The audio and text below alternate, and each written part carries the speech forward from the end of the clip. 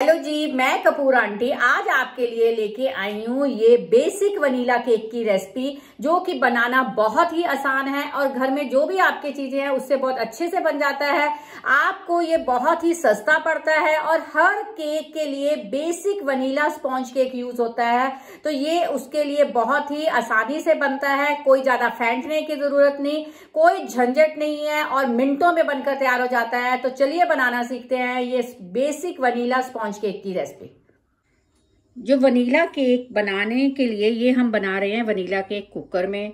आप चाहे कुकर में बनाएँ, चाहे ओटीजी में बनाएँ, चाहे माइक्रोवेव में बनाएँ, किसी भी चीज़ में बनाएँ, उसको प्रीहीट करना बहुत ही ज़रूरी है। तो केक बनाने के से पहले, सबसे पहले ज़रूरी है कि आप बर्तन को प्रीहीट करना रख रखते। जैसे कि इस बार मैं कुकर में बना रही हूँ तो कुकर में क्या करेंगे? हम कुकर में, कुकर को गैस पे रखेंगे और उसमें थोड़ा सा नमक डालेंगे। जो ये नमक है, इसको मैं रीयूज करती रहती हूँ, इसीलिए ये ऐसा हो गया है। इसको नमक को फैलाएँगे और इसके बाद इसमें एक रिंग रख देंगे।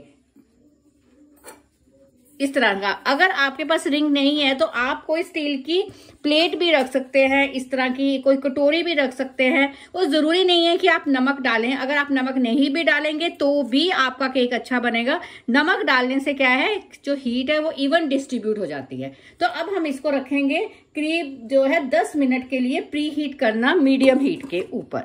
उसके लिए ज़रूरी है कि ये बिल्कुल बंद कर देना है, कोई छेद वेद हो तो इस तरह से अभी हम ऑन करके आप रखेंगे दस मिनट के लिए।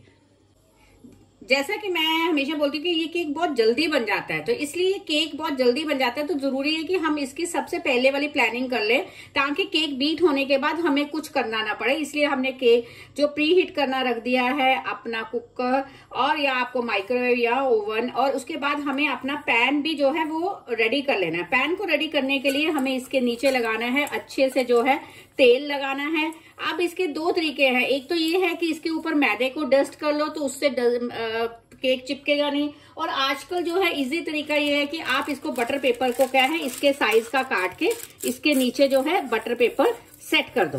बटर पेपर सेट करने से क्या है कि बड़े अच्छे से केक जो है आराम से निकल आएगा। इसके ऊपर भी थोड़ा सा जो तेल लगा दो। इस तरह से हमारा जो ये पैन है, ये बिल्कुल रेडी हो गया है। अब हम केक बनाने की तैयारी करते हैं। तो केक बनाने के लिए ज़रूरी है कि हम पहले जो है ड्राई इंग्रेडिएंट्स को छान लें। उसके लिए हम लेंगे डेढ़ कप जो है वो मैदे का। तो हमने डेढ़ कप जो है मैदा लेना है, जो मैदा है, ये हमें बिल्कुल लेवल्ड वाला लेना है, ना कि बहुत ऊपर तक भरा हुआ। तो डेढ़ कप जो है मैदा आप लेंगे। कोशिश करो कि मेजरिंग कप्स यूज़ करें, तभी आपका केक जो है बहुत परफेक्ट बनेगा। नहीं तो आप कटोरी भी यूज़ कर सकते हैं। तो इसके बाद इसमें हम डालेंगे जो है हाफ़ टी स्पून जो है वो बेकिंग सोडा का, जो कुकिंग सोडा जिसे हम कहते हैं। इसको अगेन बैलेंस करके करना है। और एक जो स्पून है, वो हम इसमें डालेंगे बेकिंग पाउडर का। आपको ये बहुत ध्यान रखना है कि आपका बेकिंग पाउडर बहुत पुराना नहीं होना चाहिए, नहीं तो उसकी स्ट्रेंथ कम हो जाती है और आपका केक अच्छा नहीं बनता। तो एक स्पून हम इसमें डाल रहे हैं बेकिंग पाउडर की और इसके बाद हम इसको छान लेंगे। तो इस तरह से हमारा ड्राई इंग्रेडिएंट जो है, वो रेडी हो गया है। अब हम वेट इंग्रेडिएंट की जो है, वो तैयारी करते हैं। तो वेट इंग्रेडिएंट में हम सबसे पहले यूज़ कर रहे हैं वन कप थिक वाला दही। ये वन जो दही है ये, ना तो ज़्यादा ताज़ा होना चाहिए, ना ही कड़ी जैसा खट्टा होना चाहिए, मीडियम सा होना चाहिए, क्योंकि अगर बहुत ताज़ा होगा तो उसका केमिकल रिएक्शन ही होगा सोडा के साथ, इसीलिए हम दही यूज़ करते हैं, क्योंकि दही सोडे को एक्टिवेट करता है तो और अगर ज़्यादा खट्टा होगा तो आपको जो खटास आ जाएगी केक में, और इसमें अब हम डालेंगे, इसमें ड्राई इंग्रेडिएंट में नहीं शुगर वेट इंग्रेडिएंट में यूज़ होती है, ये थ्री फोर्थ से लेके वन कप तक आपको शुगर डालनी है, जैसे मैं कम शुगर खाती हूँ तो मैं यहाँ थ्री फोर्थ के करीब डाल रही हूँ। आप अगर थोड़ा सा अच्छी कुछ शुगर खाते हैं तो आप वन कप इसमें डालिए और उसके बाद हमें इसको अच्छे से बीट कर लेना है। तो हमें इसको अच्छे से बीट कर लेना है। इतना बीट करना है कि जो हमारा दही है, उसकी फुटकी फुटकी सी ना रहे वो अच्छे से चीनी के अंदर डिजोल्व हो जाए। अभी हमने इसको एज ए लिक्विड इंग्रेडिएंट में हमने अभी तेल नहीं डाला है, क्योंकि अब हमें पहले हमें इसको अच्छे से बीट कर ले, उसके बाद ही हम तेल को डालेंगे। पर ये इतना सा ही प्रोसेस है केक ये बहुत तेज बनता है, क्योंकि इसमें कुछ भी ज़्यादा मेहनत नहीं करनी है आजकल बीटिंग करने की कोई ज़्यादा ज़रूरत नहीं है। इस तरह से हमने देखो, अच्छे से बीट कर लिया हार्डली एक जो दो दो मिनट हुए हैं। उसके हमें इसमें डालना है तेल। तेल डाल के हमें इसको अच्छे से बीट कर लेना है ताकि एक से दो मिनट तक।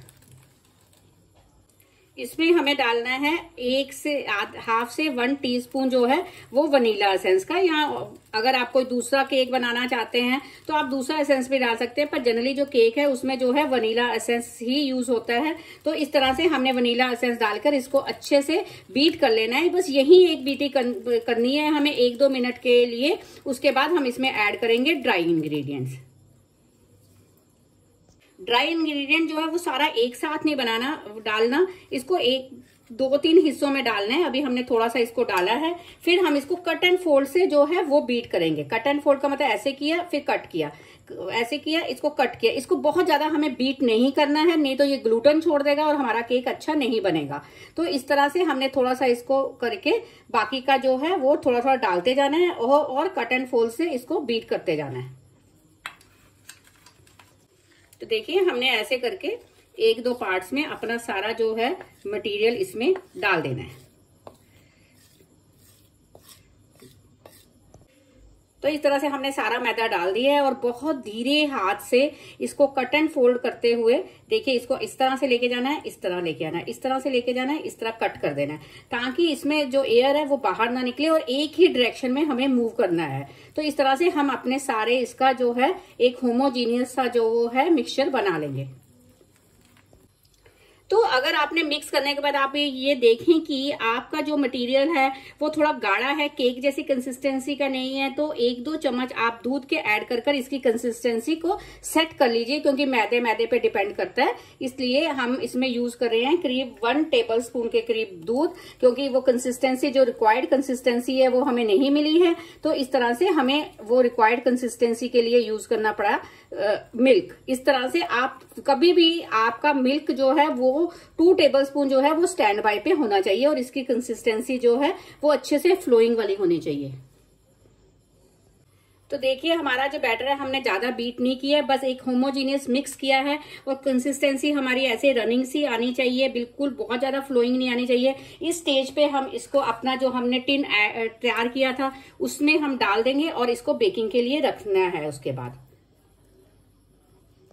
ये ध्यान रखिए कि जब आपने सारा बैटर डाल लिया, उसके बाद इसके एयर पॉकेट्स को निकालने के लिए इसको थोड़ा सा जो है, इस तरह से तीन चार बार टैप कर लीजिए। उसके बाद अभी हम इसको रखेंगे बेकिंग के लिए।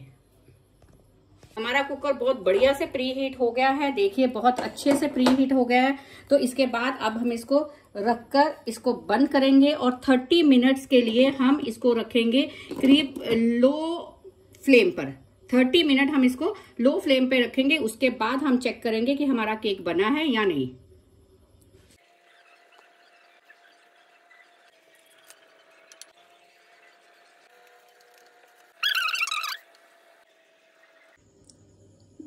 देखिए, हमारा केक कितना बढ़िया से फूल गया है 40 मिनट्स हो गए हैं।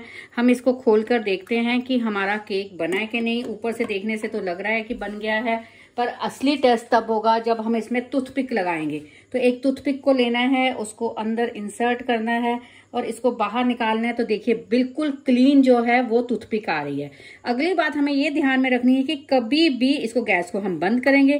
कभी भी केक को जो है, एकदम से गरम गरम बाहर नहीं निकालना, इसको आधे घंटे के लिए ठंडे होने रखना है।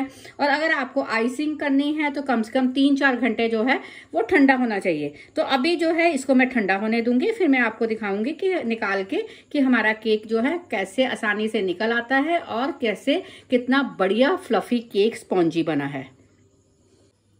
देखिए, हमें आधा घंटा हो गया है, केक हमारा बहुत ठंडा हो गया है। अब क्या करना है कि इसने देखो साइड्स छोड़ दिए ये अपने आप साइड्स छोड़ देता है ठंडा होने के बाद।